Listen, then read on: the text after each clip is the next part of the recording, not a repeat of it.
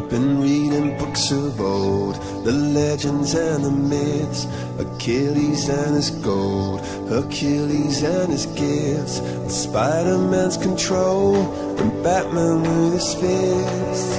And clearly I don't see myself upon that list But she said, where'd you wanna go? How much you wanna risk? I'm not looking for somebody with Some